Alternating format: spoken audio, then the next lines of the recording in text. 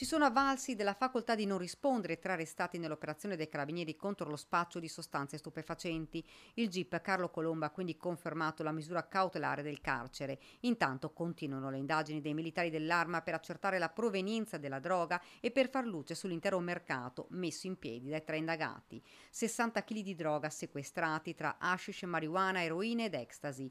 Per il comando provinciale dei carabinieri aver individuato in via Macello la casa a due piani trasformata in un vero e proprio polo logistico degli stupefacenti è particolarmente importante perché è stato tolto dal mercato un consistente quantitativo di sostanze destinate principalmente a giovani e giovanissimi.